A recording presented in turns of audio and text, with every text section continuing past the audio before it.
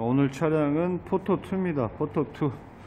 지금 보시면 알겠지만 뒤쪽이 어, 장축을 늘려가지고 한 55cm 늘려가지고 상당히 긴 차량이고요. 어, 이 차량 오늘 작업 내용은 음, 스로틀에 유속 증강기 탄 R타입 하나 그리고 인터쿨러에 탄 포인트 하나 그리고 탄 배기가 들어갔고요. 유속 증강기는 이렇게 3개가 장착이 됐습니다. 여기까지 완성이 됐고요.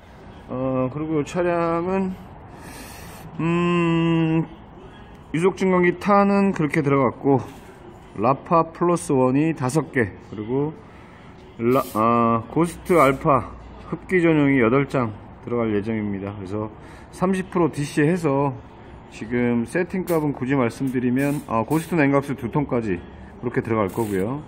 어, 이 차량 그래서 이 차량이 포토2 현대 포토2이긴 한데 이렇게 지금 뒤에 늘리게 되면은 어, 한국 특장 기술이라는 그래서 1.4톤으로 등록이 된다는 차량입니다. 이 차량 가지고 계신 분들 지금 작업을 하고 있으니까 참고하시면 될 것 같고요.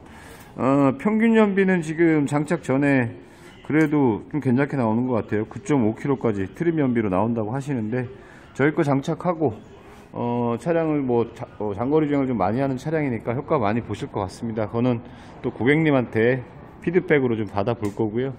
어, 보시다시피 이 차량 같은 경우에는 작업이 상당히 어렵습니다.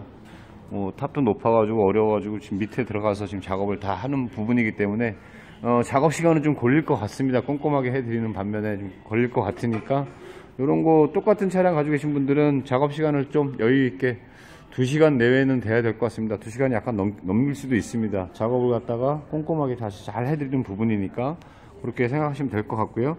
장착 후에 고객님이랑 한번 테스트 주행하면서 또 차량이 어떻게 바뀌었는지는 고객님과 영상을 통해서 또 한번 찍어보도록 하겠습니다.